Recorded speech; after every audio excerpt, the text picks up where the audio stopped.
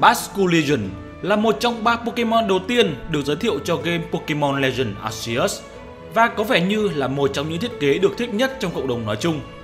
Nó là dạng tiến hóa của Basculin, một Pokemon hệ nước vốn được giới thiệu vào thế hệ thứ 5. Tuy nhiên thì không phải con Basculin nào cũng có thể tiến hóa thành Basculegion, mà chỉ có những con mang sọc trắng mà thôi. Và mấy con này thì kiểu như là một dạng vùng miền ở Hisui vậy. Khác với những đồng loại sọc xanh sọc đỏ cực kỳ đầu gấu thì những con Basculin sọc trắng lại rất hiền lành, hiếm khi chủ động tấn công con người. Chúng có tập tính như loài cá hồi, bơi ngược dòng để tìm về nơi đẻ trứng và rất nhiều con không thể sống sót qua cuộc hành trình. Linh hồn của những con này nhập vào đồng loại, kết quả tạo ra hình thái tiến hóa Basculegion với khả năng bơi ưu việt nhất trong vùng Hisui.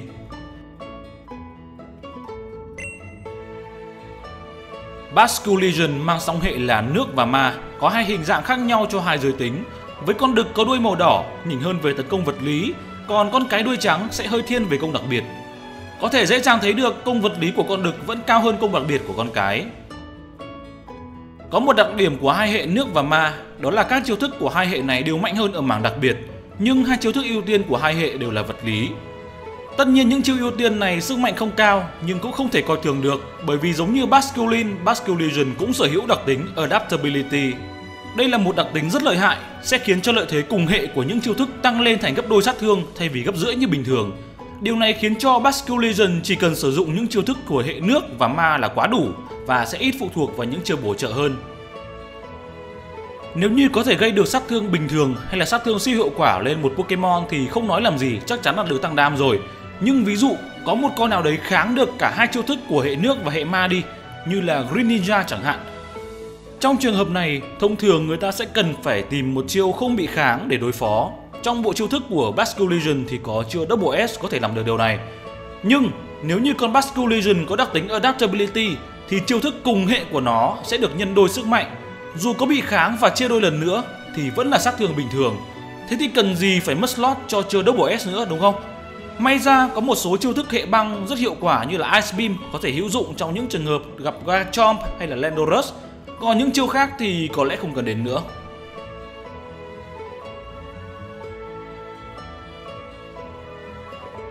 So với những Pokemon khác với cái đặc tính này thì Basculegion không có sức tấn công cao nhất, cũng không có tốc độ vượt trội, nhưng lợi thế của nó là mang hệ ma, có thể dễ dàng kháng và né tránh rất nhiều chiêu thức để vào sân an toàn, nhất là từ hệ giác đấu. Cũng như nó có thể dễ dàng ép đối phương đổi Pokemon và thực sự rất ít Pokemon có thể đảo ra trước mặt con Basculegion này mà không bị bay mất một nửa cây máu. Hai đặc tính còn lại của Basculegion là Mow Breaker giúp các đòn tấn công của nó không bị bỏ qua bởi đặc tính của đối thủ.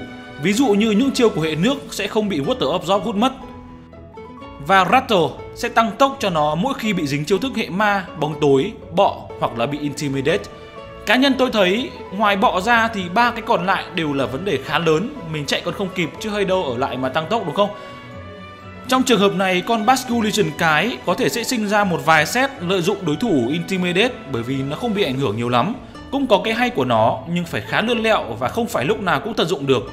Cả hai cái đặc tính này nói chung sẽ khiến cho Basculegion mất khá nhiều đam, cho nên Adaptability vẫn là một đặc tính quá tốt để bỏ qua. Song hệ nước và ma trước đây chỉ có mỗi gia đình nhà Jellicent sở hữu. Đây là một Pokemon thiên về phòng ngự cho nên cũng không thể so sánh tử tế được. Cái song hệ này có thể kháng và miễn nhiễm được rất nhiều và có 4 điểm yếu đó là ma, bóng tối, cỏ và điện. Những nhược điểm này đều khá là nghiêm trọng, nhất là từ khi hệ cỏ có một chiêu thức mạnh là Grassy Glide mà Basculegion thì không đủ nhanh để đua tốc độ với con Rillaboom.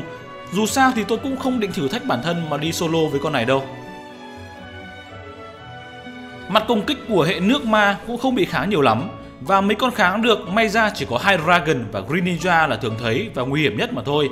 Những Pokemon còn lại thì chẳng mấy khi thấy xuất hiện mà nếu có thì đa phần là yếu, chắc mình cũng có thể khô máu được.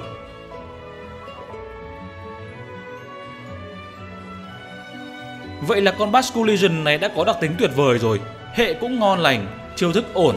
Vấn đề duy nhất còn tồn động lại của nó chỉ là tốc độ dưới trung bình mà thôi. Dĩ nhiên rồi, cũng phải có cái gì để cản lại cho nó không trở thành một con Mega Lucario thứ hai chứ.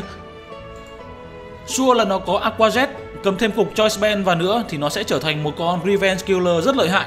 Đặc biệt là chết chóc nếu như được bổ trợ mưa Chắc chắn có đứa nào nửa cây máu mà không kháng nước nhìn thấy mặt nó cũng sẽ đều xin vĩnh biệt.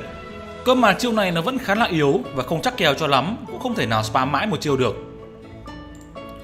Vấn đề tốc độ của Bass Collision có thể được giải quyết phần nào bằng chiêu thức Wave Crash, chiêu thức mới của hệ nước dành cho Basque Legion và Empoleon.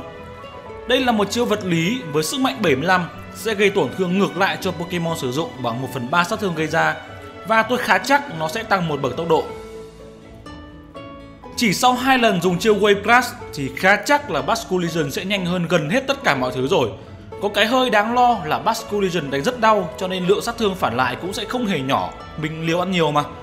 Hoặc là nếu anh em không dám liều thì có thể set up trước bằng cách thả một cái mạng nhện lên sân đội bạn.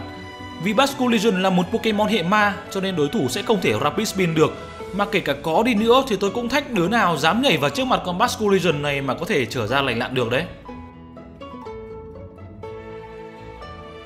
Có hai chiêu mà tôi cực kỳ mong đợi ở Pokemon này, một là Shadow Snake, hai là Flip Turn. Khả năng nó học được những chiêu này khá là thấp, nhưng nếu có thì chắc chắn sẽ là lựa chọn hàng đầu để đưa con này lên thành một trong những Pokemon mà anh em sẽ gặp suốt trong những trận đấu đơn luôn.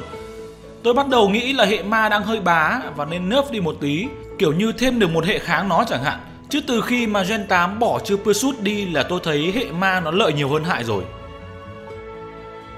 Thế còn anh em, anh em nghĩ sao về Bass Nó quá mạnh, nó vừa đủ hay vẫn còn yếu? Liệu sự xuất hiện của nó có khiến cho vị trí của Rillaboom trong metagame ngày càng quan trọng hơn hay không? Hãy chia sẻ trong phần comment bên dưới nhé. Cảm ơn anh em đã chú ý đến video này cũng như dành